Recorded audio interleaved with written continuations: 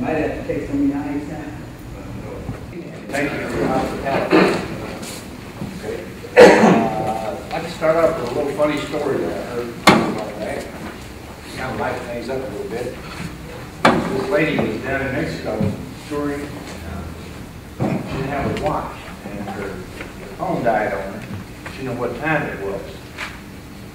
So she saw this old Mexican gentleman laying over against the curb there with his hat down, taking a siesta, mule there, a donkey.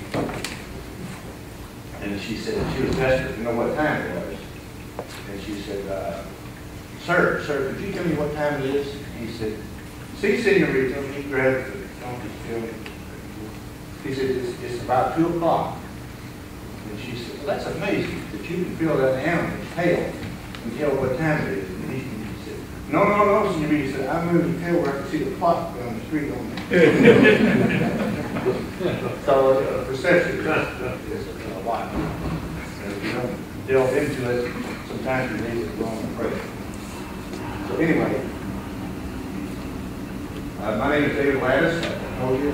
Thank you for joining us in our session on managing floodplain development.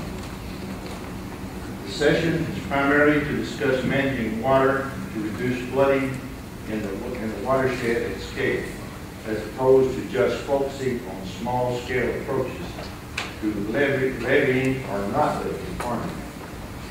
The mayors are interested in pursuing science-based, multidisciplinary, pragmatic, and rational solutions around the complex water issues in the Mississippi River corridor. Our drive here is to talk about land use changes and practices, both in rural and urban areas, that have caused more water to move faster. We want to take a more integrated watershed system approach to flooding, especially in the face of increased climate risk. The floods in Mississippi and Louisiana this past March and August show that severe flooding is not confined to the river, but in the backwater as well. Unconnected floodplain traps water and limits the capacity of lakes, streams, and creeks to mitigate flood damage. Agriculture is the third largest economy on the river, and we see the agricultural community as a key ally in this work, and I want to ensure the industry is part of our dialogue on these issues. To that end, we have invited Edward Lambert, Chief of Environmental Compliance and Memphis District, U.S. Army Corps of Engineers, John Parrish, Senior Director of Congressional Relations at the American Farm Bureau, and Todd Strole, Associate Director of Flood Floodplain Management at the Nature Conservancy. Todd is joined by Robert Sinkler, Director of Water Infrastructure at the Nature Conservancy. But first, we are joined by Louisiana Lieutenant Governor Billy Nungesser. Louisiana is uniquely situated to be a leader in disaster preparedness and climate impacts due to its location and climate vulnerability. In fact, MRCTI proposed to FEMA a in-state coordinated effort to conduct a Mississippi River corridor climate vulnerability assessment using pre-disaster mitigation grant funds. We coordinated with Louisiana State Hazard Mitigation Officer Jeffrey Giering. Unfortunately, this effort was made difficult by the grant program's own rules, which hinder state efforts to unite around common proposals at a regional level. Our mayors are hopeful that Louisiana can be a partner of of MRCTI in, in our efforts to increase the PDM grant program and convince FEMA to revise rules so that states can partner along the Mississippi River to mitigate the impacts we are experiencing. Lieutenant Governor, thank you for being with us, and you have the floor. Thank you. And uh, I'm glad to be here today. And I flew in last night from Washington, where Louisiana has asked of the President and Congress for a package for this historical flooding event. And, uh, and that's just what it is. You know, we talk about the 100-year event. Uh, this flood in Louisiana is somewhere around a 1,000-year event. And to kind of put it in perspective, um, you know, 25 of the 64 parishes were impacted. And when you add in the March flooding in North Louisiana, all but five parishes of the 64 parishes in Louisiana were affected in these two flooding events. This last flood event, excuse me, uh, dropped seven trillion gallons of water. To give you an idea of that magnitude, that's about 18 days of what the Mississippi River dumps into the Gulf. If they rediverted that water into the middle of Louisiana, it would run for 18 days. And, and I just can't even imagine in that type of water. Uh, I wanted to give you uh, a little bit of the project we worked on in Plaquemines Parish, I'll go through in a minute, because working as a partner with the Corps of Engineers and with FEMA, we developed a project in Plaquemines Parish that would, one day, we wouldn't flood from hurricanes, uh. That's hard to believe, being that little finger sticking out in the Gulf, and I'll go through that in a minute. But as we developed that plan and started to implement it by buying out money to start it, we also had a severe problem with flooding in the parish. Plaquemines Parish is that narrow finger that sticks out in the Gulf. So everything has got to be pumped out, and we have limited pumping capacity. So what we started doing is looking at, we worked with a consultant, and we started looking at areas where we could send this water. We have a lot of borrow pits, because we dig the borrow pits to build the levees. So we looked at putting sluice gates and along these canals digging, so when the rains came and we couldn't keep up, we'd open those gates, fill those borrow pits, and uh, be able to retain more water without building additional pumping capacity. We looked, even looked at things like ball fields, uh, where we could divert water to those low-lying areas of ball fields and retain water instead of flooding neighborhoods. So these are some thinking outside the box things that we were looking at, because we'll never build enough pump stations to, uh, to keep up with the rainwater. Now, getting to our coastal plan here, uh, you got. This is, uh, give you an idea what we started with. When I took office a year after Katrina, we had uh, looked at the coastal plan for Louisiana. This is about a billion dollars in projects that were planned, not funded, planned. So we went to, to Vicksburg and partnered with the Corps of Engineers. And if all these projects were in place, it would lower storm surge less than a foot to Plaquemines Parish. Well, that's no good. So we started looking at some of the projects that were done and said, what did we do right, what did we do wrong? This, maybe not. Not. Anyway, the, the first project we looked at was twenty-five million dollars. Uh, a coastal restoration project, eighteen inches, and in the picture, there's a crew out there standing on these pilings celebrating this great coastal project. Six months later, you hit the button, that project's underwater. We wasted that money. And we've done that in the course of over a billion dollars in Louisiana. But we never admit when we make mistakes. We keep throwing money out there and it keeps washing away. Before Katrina, an elderly guy in Plaquemines Parish, Earl Armstrong, had 2,000 head of cattle in the mouth of the river. After Katrina, he took me out and showed me a ridge that was pumped before Hurricane Betsy. That ridge is the only place cattle survive. So we went to work on, on modeling our plan for coastal restoration to that plan. And what we did, we got that fixed, we developed a thousand foot ridge, eight foot of trees, forested ridge, down to the marsh. We went and worked with the Corps of Vicksburg and did modeling. That ridge lowers storm surge five feet. We got it certified by the Corps. Eight to one over a mile of marsh. The lady at the Corps, I quoted, she said, this is scary good. So we took that plan and we went to Washington. And what we did is we couldn't justify using tax dollars to build a forested ridge if it just lowered storm surge. We had to make sure it lowered your flood insurance and made the coast more, uh, where we could live there. And, and lower your insurance rates and the cost of living along. So this, this task was a little tough. It took three and a half years and a lot of political muscle. But finally, we got Craig Fugate of FEMA to write a letter to Congress that says, and I've got a copy of the letter in the presentation that we can't get working, that says we will now recognize things other than levees and flood walls as flood protection. Well, we opened up the champagne and Plaquemines Parish because we got a, a- a coastal plan Corps and, and FEMA will recognize it. So when we build this forested ridge in Venice, Louisiana, with three dollar sand out the river as opposed to fifty dollar clay, and, and to build those hundred year protection levees, we would take out every business and home, because we only have that little finger sticking out in the Gulf. But by doing it outside the levee system, and lowering storm surge five feet to that levee, that levee will become hundred year protection without raising the levee. And it's historical.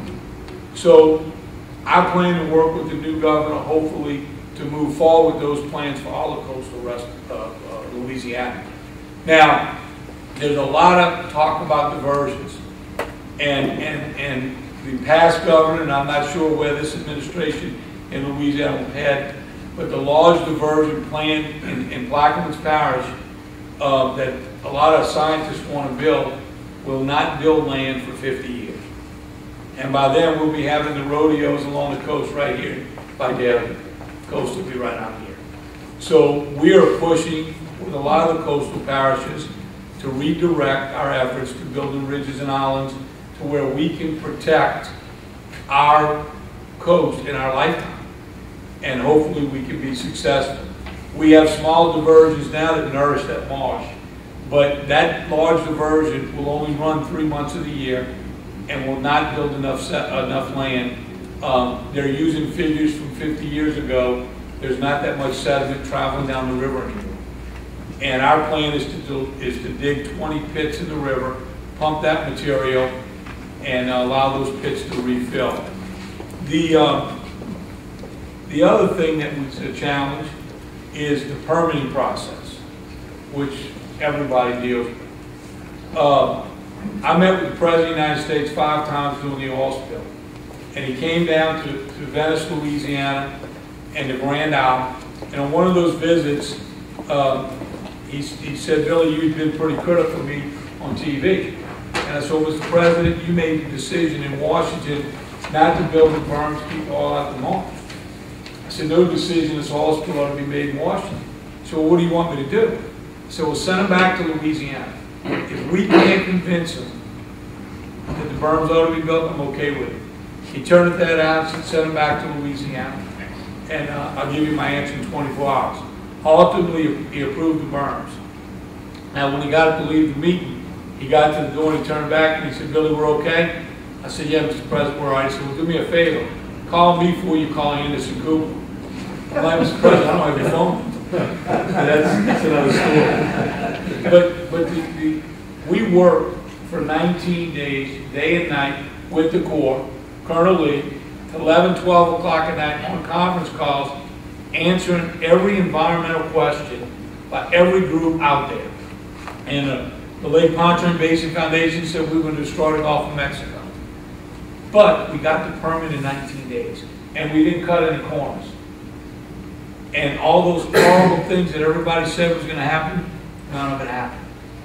Now, if we can get the permit in 19 days to build the largest coastal project moving more material than any project anywhere in the world and be successful, why does it take 10 years to get a permit for a project from the Corps?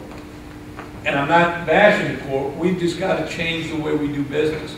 We've got to set some limits on the time it can sit and get from A to Z, because that costs time and money and consultants and fees and things we need to get to building coastal and water projects across this country. And hopefully using this as a model will help us get that done. As a matter of fact, the uh, Lake Pontchartrain Basin Foundation later wrote a report and called the the berms, same guy that me and, me and him had problems because I was gonna destroy the Gulf with this project, came out and said the silver line oil spill is those berms that were built keep the oil. Hopefully, we've added to some of them and, and got some elevation, and hopefully we can arm them and, and help protect the coast. But I tell you that story because there's gonna be challenges, and we were up against survival. And had we not, this, this actually, we brought this to New York to improve our bond rating. Because we had to show investors that storm surge is getting better, not worse, in, in, in Plaquemines Parish. And so we had new businesses building plants on the river because we have a plan that it won't get worse, it'll get better every year. So, uh, I show you that as, as the challenges of managing water, of what we did along the coast as we move forward for all of coastal Louisiana and all the problems we have across Louisiana, looking at these projects, multi-parish, state, as joint states, and, and managing these waters, we're gonna have to do some new and creative things. And that's a great success story in partnering with the Corps to solve a problem, uh, in this parish of Louisiana. So I hope I didn't take too much time. Yes, sir. Thank you, sir. I Appreciate it. Anybody have any questions? John Doe? Hey, Mayor. Um, quick, um, uh, Lieutenant Governor, thank you so much for being here and uh, being with us. So your issues are happening, but in a, in not as acute a form, all the way up the Mississippi River. Um, Mayor St. Louis experienced this in in December, record 500-year rainfall. Mayor of Alton, Illinois, right on the side of him, same thing, all the way down to Cape Girardeau, highest level of flooding in recorded history, just on January 1st of this year. Uh, And there is the, we like you have a hard time all the way up the river, going back to Congress and back to the again and again and again after the disaster happens. Uh, There's only one grant program in the whole federal portfolio for disaster before it happens. That's pre-disaster mitigation grants. They were 22 million for seven years in a row. We got it up to 100 million, which is a gnat's eyelash, right? As as a FEMA director likes to say. Um, We'd like to work with you on getting that to where it needs to be, getting that to something where we can actually make an impact, and we don't have to keep going back uh, again and again for these huge packages. How, how can we be helpful Well, to you? you know, when the president came down for this flooding, I sat with him and John Bel Edwards, the new governor, and we had that conversation. It's crazy that we're spending billions after, and, and I think what we ought to do jointly, and this is a great start, is to uh, come up not with the, the, the exact plan, but the water management we're talking about in some of those areas where you take some area and, and have it as overflow area as opposed to going into neighborhood and businesses. Come up with a general plan and a general budget, and let's jointly, all the states, uh, and, and I'll be glad to, to help work with you to come up with that, that what we want to do. Is to go ask for two billion dollars to do this without a rough plan that we're gonna, we're gonna see some realistic change, and we're not just gonna study it for twenty years, um, is, is, uh, is gonna be important.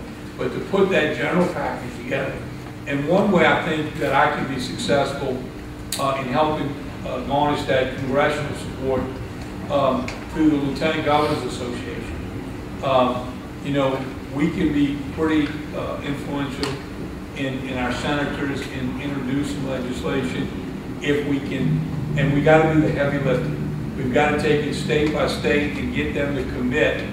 And then we may have to drop the legislation and hand it to them and say, we want this introduced, we want it funded, here's the 12, 15 states on board, and, uh, and add up our votes going into this, and include some areas that we may not be thinking about today, but that will get us those votes we need, and get us, uh, close to some, and, and, and really massage that package to where we've got a vision, we've got a time frame, and we know generally what we're gonna do in each of the states, uh, to divert that water and what we wanna do with that money.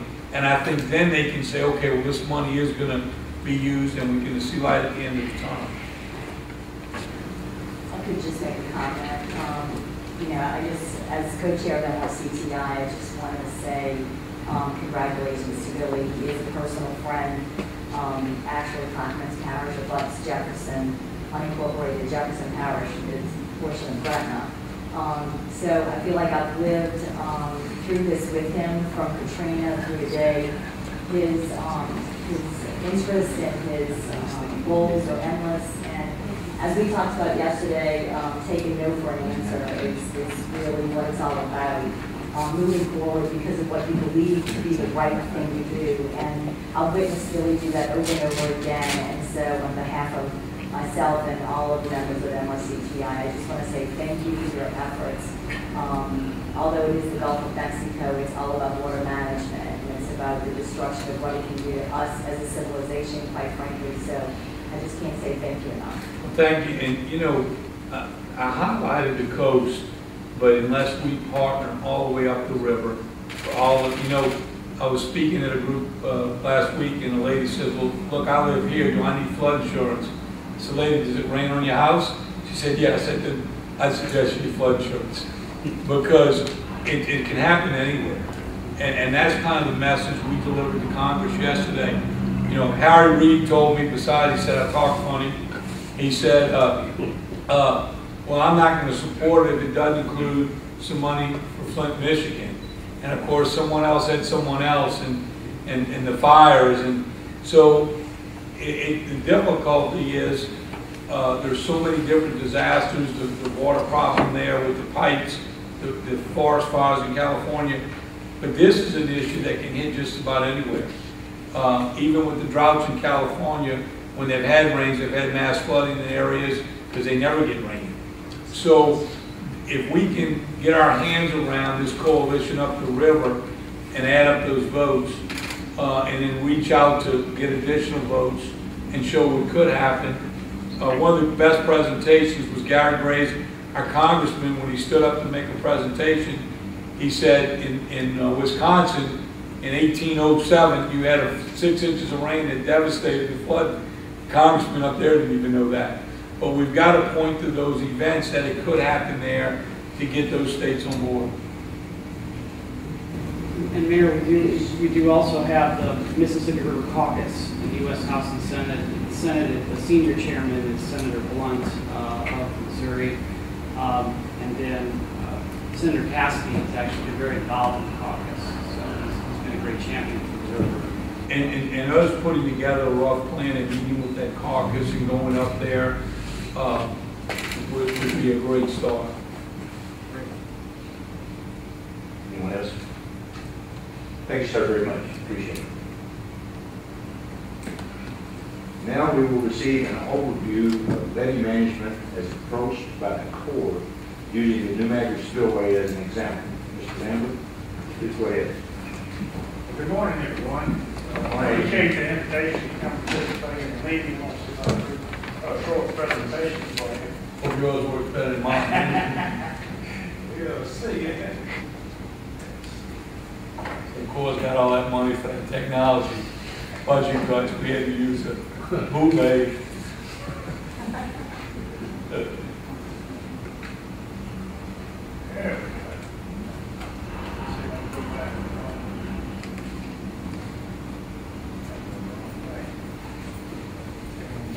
back. Use the. Uh, short presentation for you. I'm going to focus on the uh, Lower Mississippi River, the upper river is certainly different animal from the lower river. And uh, tell you a little bit about some of the struggles we've had with some of our projects and and some examples of some multi-purpose type projects we're doing. And uh, of course, a horrific flood of 1927 spawned the 1928 Flood Control Act, which authorized the Mississippi River Tributaries Project, or as we refer to it, the MRT project. It's an integrated system of levees, channel improvement, stabilization, uh, stabilization for both navigation and flood control. It uh, incorporates tributary projects such as the flood retention uh, reservoirs in Mississippi and also some floodways. It's overseen by the Mississippi River Commission. Yeah, this uh, slide shows a schematic of project design flood. It was developed, uh, the National Weather Service was tasked with uh, uh, uh, developing a theoretical combination of storms that maximize the amount of runoff and discharge into the river. The Corps took that information, did its hydrologic and hydraulic modeling, and developed what we call the project design flood. And our flood risk management portion of MRT is geared to uh, protecting against that project design flood. And a couple of things I want to bring your attention to, and you see the Mississippi River coming in from think it's about 150,000 CFS, a cubic feet per second before the Missouri enters, and it brings in another 100,000. But if you look at Ohio, it's 10 and a quarter million cubic feet per second with project design flood. And the Ohio River comes in there, Cairo, in somewhat of a constricted area, making a New Madrid floodway at the top, a very critical piece of the system. And of course, the uh, floodways, uh, the spillways down in uh, Louisiana, also critical pieces. You have the Atchafalaya uh, floodways, Morganza floodway, and the Bonnet spillway. And those, in, in conjunction with flood reservoirs, uh, with the levees, all act as an integrated system and it's effectively managed. In fact, the uh, current uh, project design flood is undergoing a complete reanalysis. Uh, You have five national weather forecast centers, 10 Corps districts, Institute of Water Resources, all working to, to reanalyze the project design floods, still if it's, to see if it's adequate. And depending on the results of that, there could, may or may not be modifications made to the MRT system. Hear a lot about uh, receipts in projects these days, but that's a big piece of it. This current slide uh, shows the estimated extent of inundation of the 2011 flood if the MRT project had been in place. And if you look at that, you can't see it very well, but you can see the blue there. The next slide shows the actual extent of flooding here in 2011. So the MRT project did its job. Now, if you get a flood that size, it certainly stresses the system. We had to do a lot of repair work, scour repairs, levee slides, et cetera, to get it back up to standard. Now, I want to go back up to Blue Hill Missouri, and just to show the importance of New Madrid floodway. If you had a le- levee failure up there, you would have flooding that extends 250 miles downstream of the, of the floodway, it'd be about approximately 50 miles. It'd be catastrophic, huge economic impacts, unfortunately loss of life. So It makes that, that piece uh, very important. I'm going to talk a little bit about the New Madrid floodway and a controversial project we have up in that area. But before I get into that, um, I think it's important to point out that the Corps is constrained somewhat by its authorizations. In order to, for the Corps to perform a study, you have to have both authorization and funding. To build a project, you have to have construction authorization and funding. Some of the authorizations are single purpose, some are multi-purpose and more broad. Now back to the floodway. New Madrid floodway is the floodway right here in the bottom right of the, of the slide. It has a frontline levee and a setback levee. It's been activated twice, once in 1937 and again in, in 2011. And it's activated by creating crevasses in the frontline levee through the use of explosives. And what that does, it allows a, a, a larger pathway, if you will, for, for flow to come down the river. It takes pressure off the system there. Now, inside the floodway is very, very valuable agricultural land. Eighty-five percent of that land is crop. So, a lot of farming activity in there. We have a project in that area called the St. John's Bayou New Madrid Floodway Project. And uh, at St. John's Bayou, the, the levee's been closed off at the bottom of that basin. Uh, I think that was done in the early 1950s. However, you know, it, it prevents backwater flooding from the Mississippi River when the river's high, but you can't, uh, water has no outlet when the river's up. So interior drainage stacks up and interior flooding. And so it's a 1,500 gap at the bottom of the New Madrid floodway. You can see it in the inset there. It was authorized for construction in the early 50s. Now, with the Lady District in Madrid, on the New side, you know, realized the problems they were having in St. John's in evacuating interior drainage. So they held off from constructing the levee plug until they could get a pump station authorized in nineteen eighty-six. And the Corps study was done, and there's some subsequent litigation, and bring us to where we are today, and I can't even begin to get into the historical aspects of all this. But, uh, in the recent draft EIS, the proposal, uh, that we made, in the St. John's Basin side, you would have a pump station and some channel enlargements in that basin. There's no significant, controversy associated with St. John's side. Uh, it protects community, provides some flood, flood relief from communities such as East Prairie. And just not a lot of controversy there. The controversy comes in with the closure of the levee. And uh, what a tentatively selected plan that laid out in the draft EIS, an effort to reduce environmental impacts, we buried backwater flooding. We allowed backwater flooding to come in at various levels during different seasons to minimize impacts to fish, waterfowl, uh, and shorebirds, and, and It also uh, involves uh, over 9,000 acres of mitigation. Well, just to show you some of the issues you can run into uh, with floodplain management, we had two public meetings, I think, the first one with Josh in East Prairie, and we had a follow-up meeting the next night in Cairo, Illinois. And basically, the meeting in Bootheel, uh, it was predominantly farmers, business folks, residents of the Bootheel. They wanted the structure, they wanted the pump station, they wanted to reduce the flood wanted to the high And the benefits of that plan involved ag intensification primarily, there were some benefits to infrastructure and things like that. But basically, it would allow farmers to plant more profitable uh, crops such as corn.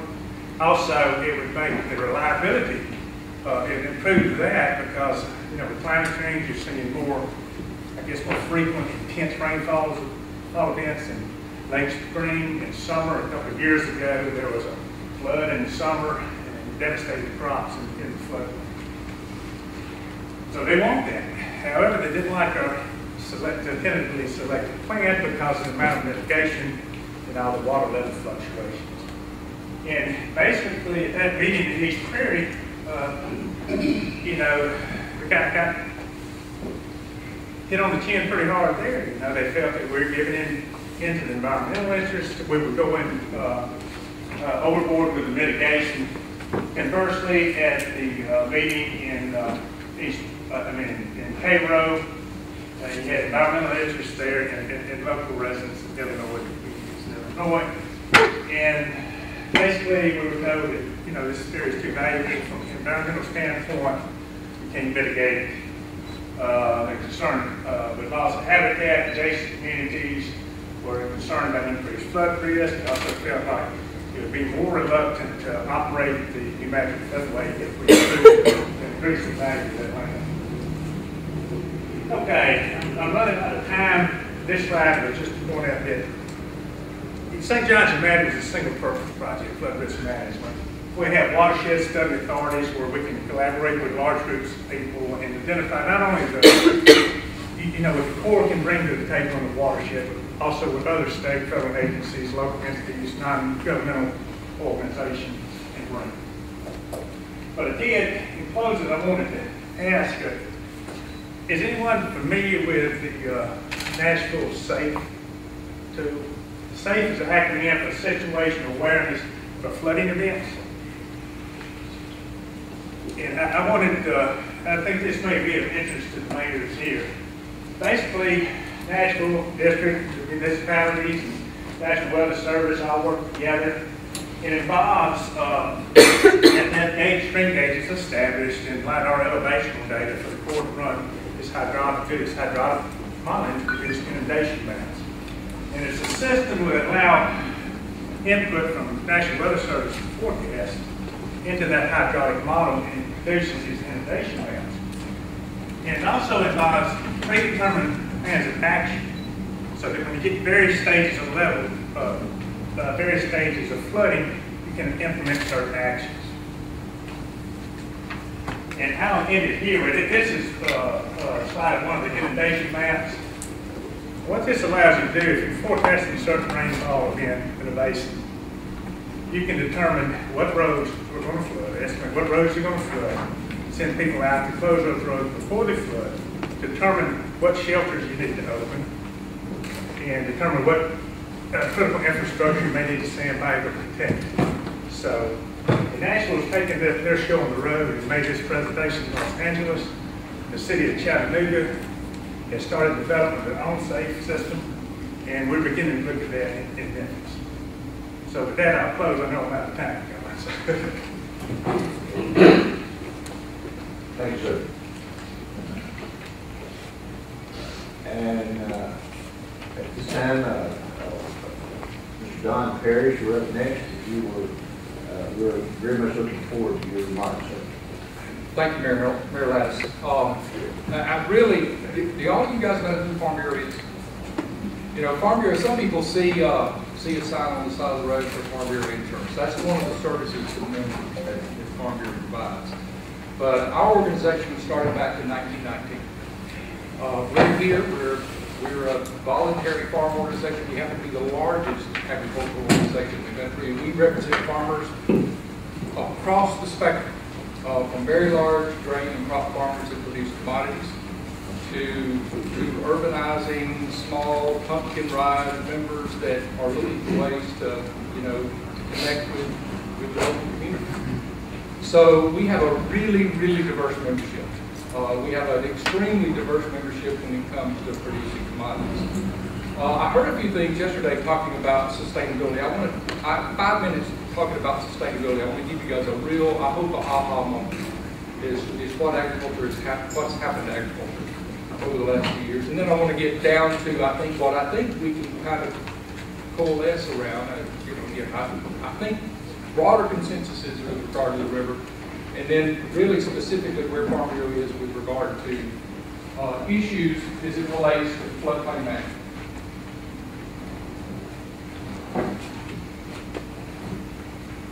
Okay, so from a perspective, broad perspective, I want you to envision environmental footprint.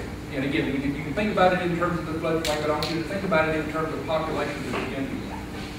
In 1960, the U.S. population was 180 million people. Today, 325 million. We've almost doubled. In the world, it was 3 billion. Today, 7.4.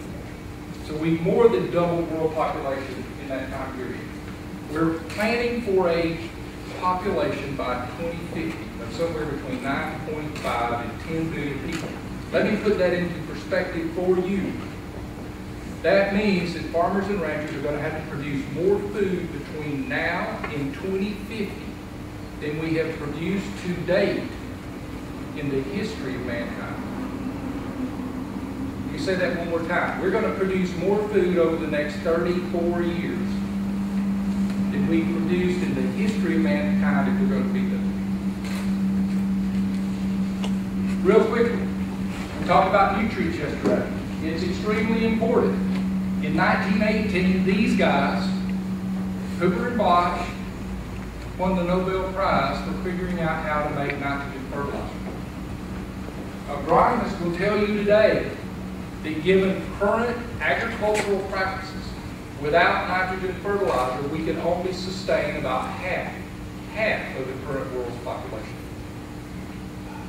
So think about that. Now, just some real fun facts, real quickly. In 1960, we had 59 head, 59 million pigs in this country. We fed those pigs six pound of feed for every one pound of pork they produced. And we took them to market at 200 pounds. Look at that. Virtually the same number of pigs. But we feed them less than half the feed, and we take them to market at 300 pounds. We've doubled our population, and more than doubled in the world. Beef animals, 96.2 million head of beef animals. We fed them eight pounds of beef for every pound of beef they produce. Today, we feed them four pounds for every pound of beef they produce. We took them to market at eight hundred pounds.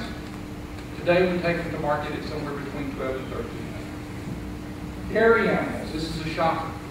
Dairy animals, in nineteen sixty, we had nineteen million head of dairy animals. They produced hundred and twenty-three million pounds of milk. Anybody have any idea how many dairy animals we have in this country today? Well, I used to build thirty-five. There you go, we got nine, nine million. We cut our dairy animals in half, and they produce hundred and fifty percent more milk. Cornell University, the land-grant university in New York, says that is a seventy percent reduction in carbon footprint. Nineteen thirty, right after the flood, we produced agricultural commodities on three hundred eighty million acres of land. In 1960, 355, we're producing on 330 today. So think about environmental footprint, and now think about the importance and the criticalness of what we're producing and where we're producing food today. Nutrients important. We can talk about the complexity, but one of the things I want to stress to you is that nutrients are antagonistic to one another. Things that we do, things that farmers do on the landscape to stop phosphorus loss accentuates nitrogen loss. And the things that we do to stop nitrogen loss, we accentuate phosphorus loss. So we have to balance out what we're asking farmers to do. We have to do that in a way in understanding that farmers have to have a fertile environment to produce food. You can't just have, well, think about it in terms of if you ever put a tomato plant on your back doorstep or your uh, you have to repot it, you, you don't repot it with deep sand, you repot it with very, with organic matter.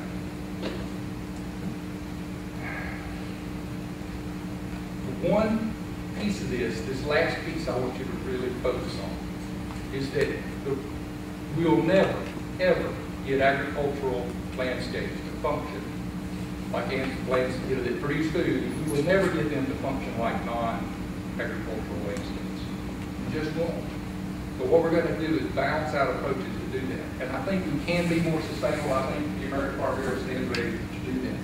Now, to talk specifically about what we're here to talk about. Key principles that I think we could all agree on. And this is, you know, and for me, this, I kind of went through our policies and said, you know, what can we agree on? What are the lofty overarching goals with regard to the river and floodplains that we can agree on? Well, number one, the Mississippi River, without a doubt, is one of the key treasures of our nation. It is a key natural resource. I think it is critical. And I think there is a consensus that we have to manage it. Believe me, we have to manage it if we achieve any kind of optimization whether it be in agriculture whether it be your infrastructure. And believe me, history is riddled with successes and failures. And I, I promise you, that point right there alone tells you that our organization is ready to work with you to try to figure out how to get more successes than failures. It's a vital artery for transportation. It's key to industry, trade, and commerce. It's a source of water for industry. It's a source of water for drinking, irrigation, and recreation. No doubt. I want to go frogging with you, by the way. And, and above all, we're going to have to have policies that are flexible. Because if we lock something into place and it takes 30 years to get a permit or 20 years to get a permit, if we can't get it fixed in a, in a short period of time, we're going to lose life, limb, and, and a lot of blood, sweat, and tears. Just a real quick note, there's 35 million acres, 35 million acres of cropland in the Mississippi River main stem, main stem floodplain. That's approximate. You look at putting a dollar figure on that, that's valued at about $350 billion with a B. And if you look at what it produces annually in gross receipts to farmers, you're talking roughly 50 billion plus. So you're talking something real. Now, if you want to talk about your state, Mr. Lieutenant Governor, this twenty-seven point four percent is not the percent of the floodplain that you have. That twenty-seven point four percent is the percent of agricultural land in your entire state. That portion is lies within the Mississippi floodplain. Is that the tributary also? It does not. Which flooded, or this flooded, that warranted that area. And you can see as you go down this chart, almost eighteen percent of all of Arkansas's agricultural land is in the Mississippi River floodplain. Mississippi, seventeen point four. All the way up to Minnesota, it, it's the winter. Missouri is kind of a, we didn't take, I didn't take into account the Missouri floodplain. Mr. Hager, St. Louis. That's only, that's only the floodplain for the Mississippi River. Those are real numbers, and that is a real impact on agriculture. All right. This is, and I hope there's things in what we believe is American Farm Bureau we can agree on. One size fits all policies doesn't work. I promise you, the upper river is going to behave differently than the lower river. We got to recognize that there are huge physical differences between these, uh, and, and if we treat them the same, it's going to be a recipe for bad public policy. It's important to recognize that this land is privately owned. I believe it's important that we do our job and we make sure that people know if they're in a floodplain or if we change floodplain designations. Um, Property owners need to be notified of that. And the the key important with this second one, I heard this talked about yesterday. I think farmers and ranchers will, if approached properly, and we're willing to work with you, figure out ways to deal with easements in ways that will allow farmland to temporarily store, like these ball fields and like these whatever. In the rural settings, we can figure out a way make this work so that we, we, we balance goals and objectives. We can do that. We need cooperation in streamlining fighting. We support levee standards, certification. Uh, To summarize, incentives for temporary flood- storage, I- that is a part of our policy. I think that's something guys support. Um, Colin asked about the farm bill, and I'll leave it at this. Everybody talks about kind of the iron triangle, and you know, this is my iron triangle when it comes to the farm bill. I did it's self-drawn. Um, agricultural interest, the Congressional Budget Office right now has agricultural risk management programs at the federal level cost 4.2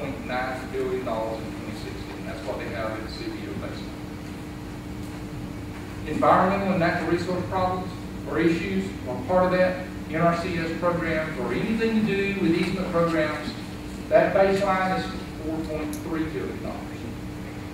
Food and nutrition programs, one in seven people in this country get support our food and nutrition program. That is bound up with the agricultural, with the farm bill. That's part of the farm bill. It's the biggest part of the farm bill. Farmers can't really understand why that's in there, but that's part of the triangle that pushes this thing across the goal line. It's seventy-eight billion dollars in twenty sixteen.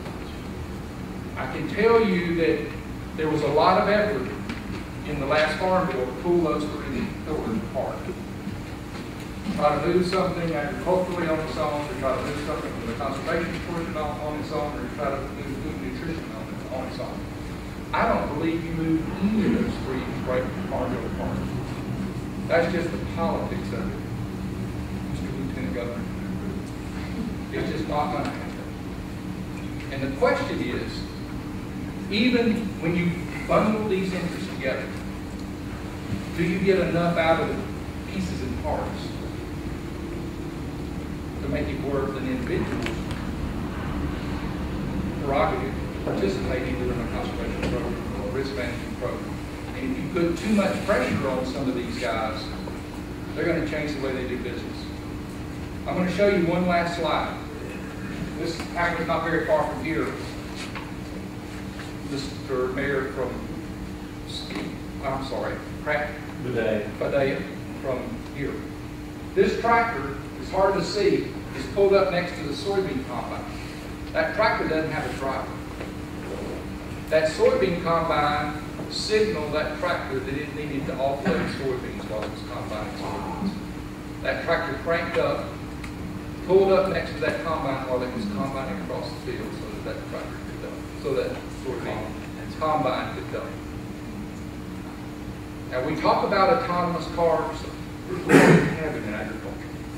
Ninety-eight percent of all agricultural products now use auto steer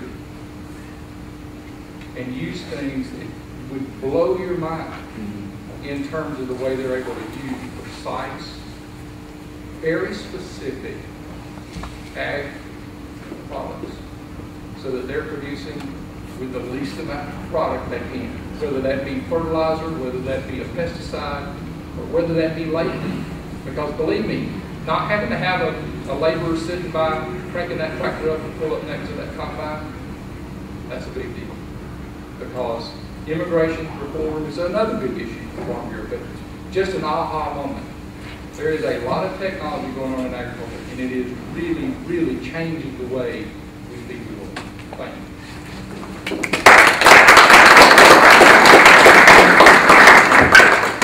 Thank you very much, Don. Uh, a couple of gentlemen joining us a little late here. Uh, Mayor Brunel from uh, Natchez, and uh, Colonel Anthony Mitchell. Thank you all for joining us.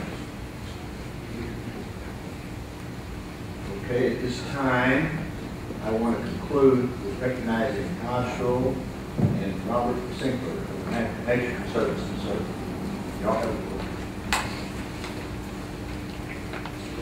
Um, The nature, how many of you worked with the Nature Conservancy before?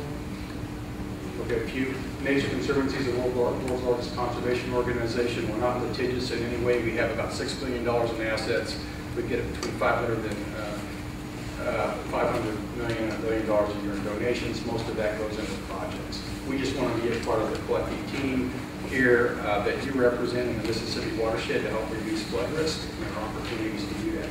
Um, There's uh, several different members of our Mississippi River team. Uh, Rebecca Smith um, heads our uh, ag nutrient program, trying to reduce ag uh, nutrient uh, issue, uh, works on the ag nutrient issues with the Farm Bureau and- others. Gretchen Benjamin, who I think has spoken to this group before, does our ecosystem restoration work and oversees that from one end of the river to the other. And, uh, and Todd Strole, um, he has been working with flood risk management issues for, for 10 years. But I just want to make one, one uh, kind of comment here. We've got a USDA, we've got HUD, we've got FEMA, we've got the Corps of Engineers, all part of this flood risk reduction solution in the, in the Missis- larger Mississippi watershed, but it's coming in in kind of a fragmented way. And um, we need to actually kind of help herd all of that in a, in a more productive way, so all of that funding, all of those efforts uh, kind of come together and coalesce in a way that really helps or more effectively reduces flood risk. And, and we want to be part of, we want to be part of that solution. So I'll get back to my uh, Marine Corps story. I'm going to spend a little time in Iraq and some other places, and had a Marine Corps commander that was supporting me, and every time I, I got a hold of him and said, how you doing? He goes, well, my team is winning over here, how are the rest of you guys doing? And, and that's where we are in the Mississippi watershed. We've got a series of projects, a series of efforts that are at different stages of development. During major flood events, we're putting sandbags on levees in the upper Miss, parts of the lower Miss. Um, there's a huge MRT project that's in place. The habit activity doesn't go on to the same degree. And then in coastal Louisiana, it's an entirely different uh, animal. Um, and we've got to kind of, uh, what we really are trying to help is nudge the Mississippi watershed into a, into a direction to where we have a more integrated effort and we are mutually supporting each other, just like, like what the lieutenant governor said. He needs support from the whole entire watershed on the stuff he's trying to accomplish in Louisiana. The same way in Wisconsin and um, wherever else. So, so anything that we can do to help kind of solidify that and uh, so we don't end up with a bunch of uh, organizations that are just concerned about winning in their own area, but so, uh, so with that, I'm going to turn it over to Todd Strole. Thanks, Bob. So, you know, first of all, I would like to just thank everyone for this opportunity to speak. And, and I think you've done a nice job of setting up this uh, particular uh, session and, you know, speakers with different perspectives. But I think you're going to find out that we really have quite a lot to agree on. And, uh, and that's encouraging. So, um, just want to compliment you on that. I- I'm gonna, I I don't want to rush through my uh, program, but I'll trim it a little bit, try to get us on schedule. Um, so what I want to do is just talk a little bit about TNC's uh, approach to floodplain management. What I've done here is just put up some headlines. I really don't need to tell you about the headlines that are coming from your communities uh, regarding flooding. You're living. But the point here is, I think it- it's useful to step back and realize that the flood events that are happening in your communities are happening everywhere. So you're not alone, because you're not alone.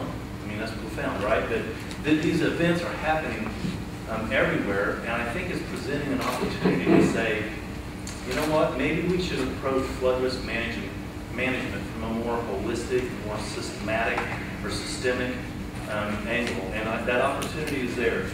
And, and from TNC's perspective, we think that natural infrastructure or green infrastructure should be an important component of flood risk management. So floodplains are important, and you did a really nice job. Floodplains are important, uh, particularly from an agricultural perspective, but, you know, providing food, fiber, and fuel for our nation. They're just critically important. I like to eat, so I'm not out there promoting that we get rid of, you know, all agriculture in the floodplain. It's just not the position we're taking. Uh, But what we are saying is, you know, can we do things that are sustainable? Can we do things that um, address flood risk, that still support agriculture, that still support the other industries and the navigation uh, that occurs on the river? Can we do that? We think that we can. What I've got up here is just a, a, uh, a graph that shows flood risk or flood damages by decade um, over time. And you can see that we're just on a steady increase. And we anticipate that this is just going to continue. There's, there's three things there that are really driving this. More people are moving into flood-prone areas. Our weather patterns are changing. More, you know, more intensity, more frequency to storm events. And our infrastructure is aging, and in many cases failing. So those two, three things are really driving this. And so right now, again, I think we're at a point in time where the opportunity is really there to think about how we're doing this and how we go forward.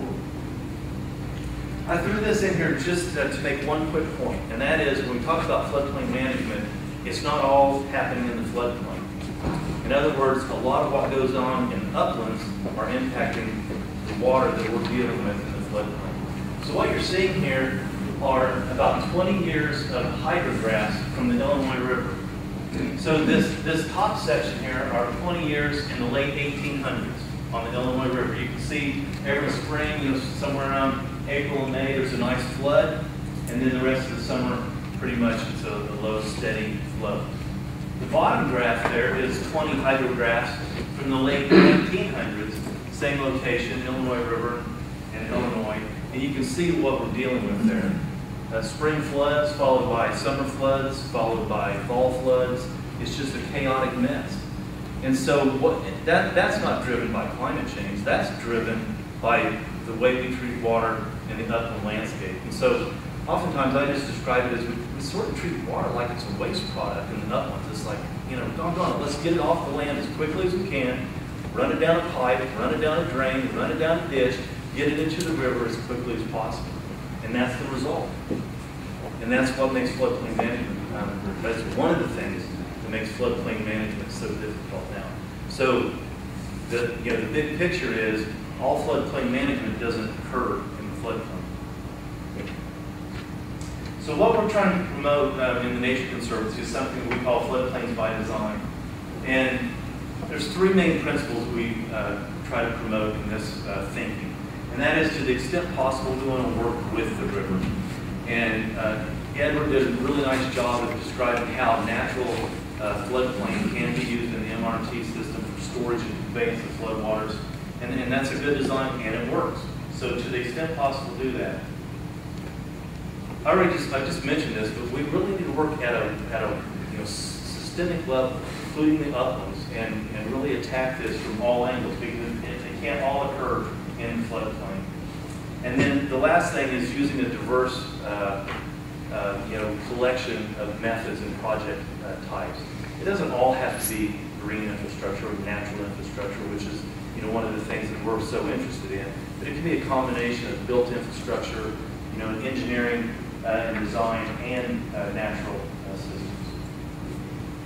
One thing that I want to point out here is that when we look at a floodplain, we don't think of, you know, the floodplain as just a floodplain. There's, there's different uh, aspects to that.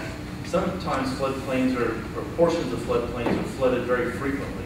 And from a you know, natural or nature, nature's perspective, those are really the most valuable. You know, they're performing functions every year or nearly every year. You know, they're flooded frequently, they're storing floodwaters, they're managing nutrients and sediment, they're providing habitat, those things that we need to happen every year. But there's other portions of the floodplain that don't get flooded so often, you know, maybe just every 50 years or every 50 to 100 years. Those areas can tolerate a different land use. You know, maybe it's agriculture that can occur for many years with no problem, and then occasionally it's flooded, but can return to that use. And then there's other areas that, that are, uh, we can probably, you know, sacrifice them in the floodplain and protect them to the best extent possible. Real quickly, Edward covered a little bit of this, but just, I got two slides here on the MR, on two major floods that were uh, in the Miss. So the 1927 flood, which was the flood that caused the, you know, the, the development and design of the MRT system. 150 levees failed, 26,000 square miles inundated, um, hundreds, maybe thousands of deaths, and 700,000 people. That was the product of a levees only policy and sort of every levee for themselves. 2011, we had a similar flood. In fact, a, a larger volume of water came down, no levees failed. No land flooded that was not intended to be flooded. There were no deaths. A big difference. So what's the difference between those two floods? It was, you know, besides the MRT system, it was really this, the, the, uh, the concept and the approach. It was not a fragmented approach. It was not every levee district for itself.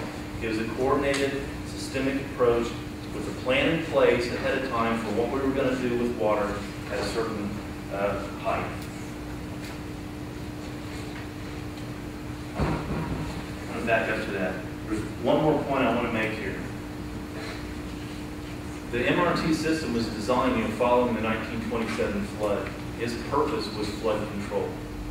Today, you know, 80, 90 years later, we know a lot more about floodplains. We know a lot more about the functions that we as a society need from them. We know how they uh, help in groundwater recharge. We know how they help in nutrient management and cycling. We know how they help in sediment management. We know the, the value that they provide for uh, wildlife and habitat needs. Those are all important things. And so today, we have more information than we did back then, and the design can, those, that, with that information and knowledge can be included in the design of, of how we manage systems. I'm going to mention one more, just very quickly here. This is a, this is a hydrograph from the Sacramento River in the Central Valley of California. It, it has kind of a similar history to the lower Miss in terms of catastrophic floods and then a, a desire to uh, manage those floods in a very thoughtful and, uh, and planned way. But what I'm showing you here, actually one of the lines is not showing. I need another. Huh. Yeah, okay, for some reason one line's not showing. Uh, I can describe it to you. What you've got here is the dashed line on top is the total volume of water coming down the river. The, the yellow line right below it that just sort of mirrors that is the water uh, going through the Yolo bypass. It's different from the MRT system. It's a totally passive system. So water comes up in the river. There's no gates to open. It just overflows at a certain point, goes through the bypass, around, uh, you know, through the floodplain, and down past the city of Sacramento.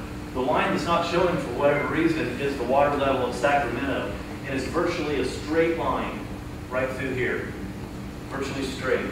So the, the, the bypass there is able to accommodate that excess water with little impact to Sacramento. And then this is my last, or uh, next to last slide. This is the Yolo bypass. Mostly it's agricultural land. As you can see, uh, wildlife like that agricultural land when it's flooded. So it's serving multiple purposes um, and doing it very well. You know, flood control, uh, wildlife, and agriculture. Potential benefits of this approach, I'll just um, run these up. We think this approach has um, improved flood protection and management, uh, more sustainable agriculture, improved water quality, especially uh, nutrients, improved uh, maintenance of biodiversity because of the seasonal uh, habitat provision, uh, improved forestry, in particular the, the ability to uh, store and sequester carbon. And then finally, uh, we just think this is a critical time and important uh, to do this in light of what we think, uh, you know, the climate is going to. The last thing I'll say is this, that the natural and the built infrastructure that we have now, and I'll say it again, both the natural and the built infrastructure that we have now is a product of our climate history. We don't think that our climate history represents our climate future, so now is a critical point in time to be prepared. So with that, Thank you, Todd and Robert. This has been a very informative uh, meeting and will act as a solid step to better coordination on these issues. Now, uh, we will open it up to questions, and I can ask the first. This question is, all of you consider. For a long time now, a default solution to flood control is a levee that is thicker and higher. Do you think we have moved beyond that to a more diverse set of solutions? I'll, I'll, uh, tell you this. Yes, sir. Yes, but I will tell you, and, uh, we've got to make sure, and, and, and somebody here is gonna have a major flood event probably get back together again. And what I saw after Katrina, I saw a picture up here, forgive me, uh, Corps of Engineers, but, uh, we made some mistakes. We built the world's largest pump station in my parish, and we didn't need to build it the, the President St. Bernard brought me a study. It was already driving pounds when I took office after Katrina. And he said, Billy, you gotta stop it. We don't need that pump station. When you looked at the study St. Bernard did, we were gonna flood from the Mississippi River before we ever turned that pump station on. And I brought it to Colonel Lee. Colonel Lee, when we looked into it, came back and said, we're too far into this project. He got promoted, and went to the Pentagon. That pump station is gonna cost the city of New Orleans, or our parishes, Jefferson, Plaquemines, and New Orleans, five million dollars a year to maintain, to start. Not the cost as it deteriorates. All the pump stations built in New Orleans, instead of looking and, and looking at the long-term cost of when they would be used and how often they would be needed, we, we had a problem. And we threw so much money at it to solve that problem, so we never have that problem right there again. We didn't look at the bigger picture. And we're gonna do that in one of your communities by not saying, okay, what is the long-term cost, what is the benefit, how likely is it that we're gonna use this? But what they did when, when we brought that all the way up to the Pentagon, uh, they, they fixed the problem. The Corps came in and raised the Mississippi River in Plaquemines Parish, so that water pushing up the river, so they would have to use the pump station before we flooded. Never before had the Mississippi River ever been considered a flood levee for floods coming up. It was just for floods coming down. So because we built that pump station, we fixed the problem, and look, people, Plaquemines, glad to have seven more feet at a cost of 70, 80 million dollars uh, to, to uh, the taxpayers of America. But there, we threw good money after bad because we built the pump station. And I still go on record saying we'll never use that pump station for flood protection. But because before we've got to pump the water out of that canal, uh, that storm will be passed. And if it's not, we're gonna flood from the Mississippi River before. So we've got to make sure it's not the Corps coming in telling us what we got to do, but it's a whole group effort and we're doing the right thing. So that was a long answer, but Thank you, sir. Anyone else? I'm just going to add, I want to thank you all for your comments today. Um, UMRBA, we represent the five states that border the Upper Mississippi, and um, we share a lot of your thoughts that uh, it will be important for us to consider the Mississippi from the headwaters of the whole basin all the way down to the Gulf, that our climate of the past is not going to be the climate of our future, um, and that agriculture and industry play a major factor in our river management considerations, and they need to be at the table. Um, That said, the states now would like to pursue a watershed study to look at our climate of the future and our modeling and um, how water now is moving into the river and bringing sediments and using that to better understand and manage for flood risk reduction as well as channel maintenance to keep the river open because the upper river when, you know, we see a lot that we have floods and then drought and then drop sediment in places that maybe we weren't prepared for. And so we're hoping that a watershed study will allow us to be more strategic in our thinking and our management. And we would like to, you know, you guys talked about using the Mississippi River Caucus. If we could join up and create a unified Mississippi River type vision, um, we could maybe create a more powerful voice that would help us all. Thank you. Anyone else? Yeah, I just want to make a comment. um, about It's not really, um, I think levees are part of the solution. I mean, I think that that's a major concern with these kind of, we're not anti-structural solutions to flood risk reduction. But um, the problem is multidisciplinary in nature, so more, more folks, more entities, more expertise has to be around the table to look at uh, resolving flood risk management issues at scale. I think the, the Upper Mississippi River Watershed Study that is being considered now, I think gets to that. And I think that's where we really need to, to get to. We're smarter now than we were in the 1930s when the MRT project was built, for example. So there are a lot of things that we're learning from that. So, and, uh, and I agree that, um, I agree with the Lieutenant Governor that elements of the, when I oversaw construction of parts of the hurricane storm damage risk reduction system, we had to follow the authorities that were put in place in 1965 after Hurricane Betsy. Well, the world was different in, in after Hurricane Katrina, but there are levee alignments and things that were put in place because we were just basically directed to finish the project that was authorized in 1965. And the world, the climate, the, the coastal Louisiana was entirely different configuration. So, so I think the, the larger issue is that we need a larger, more complex, maybe, you know, it's a larger, more co- complex problem than maybe thought it was 80 years ago when a lot of this stuff was built. I think uh, Lieutenant Governor is exactly right. How do you pay for the maintenance of all this constructed stuff? And that's why, uh, and Lieutenant Governor talked about some natural features that provide reduced storm surge risk in Louisiana. Some of those can be, the O and M can be provided by nature. So at once you put something in place, it can be a little bit self-sustaining.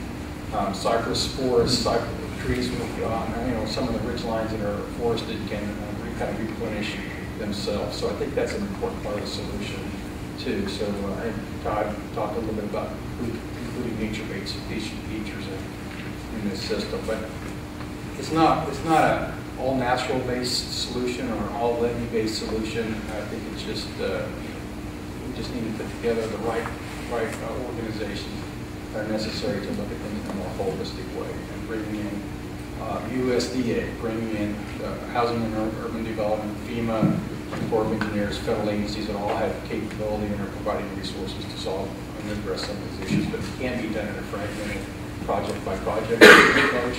It can't be the city of St. Louis address their flood risk management issues in in isolation from things that are going on. If anything, we can't keep making the same mistake in afford it, especially with the cross. So I think, The biggest thing, we don't admit our mistakes. Pardon? We yes, don't admit them. And, and talk about the coastal, and, and, and I don't want to dog the Corps because they're our partner. But we've got to do a better job of saying, maybe we should have done this, and, and, and take a step back and, and make the right decisions, because the money's gonna run out one day if we keep doing the same thing over and over making mistakes and not admitting. I think you hit the nail on the head. Yes, sir. Anyone else? Mayor, I just got a Yes. quick question. Lieutenant Governor, the, the package that you're uh, negotiating with Congress, is it, is it to uh, make your, your impacted population whole? And, uh, or is it that plus other flood mitigation? The governor gave, and the governor did a great job of breaking down the needs to restore those parishes and submitted that letter to the President of the United States.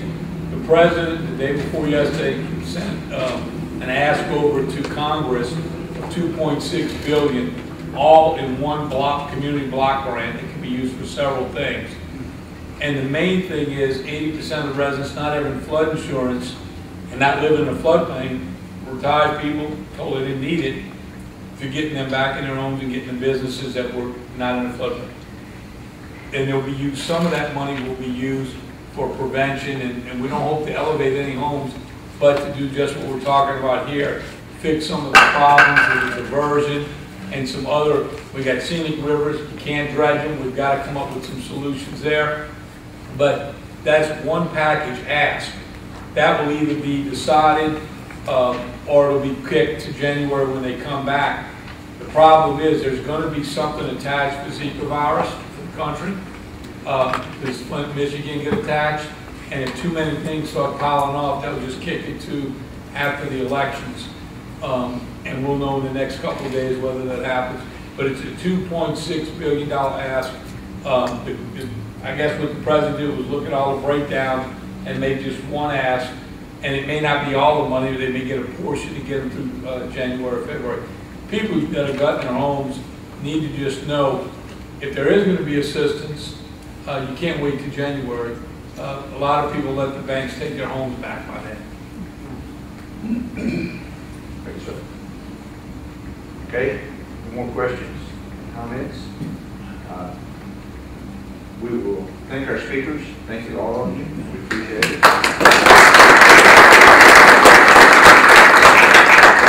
And we move into our business meeting, which is open to all attendees. Thank you very much. Stay.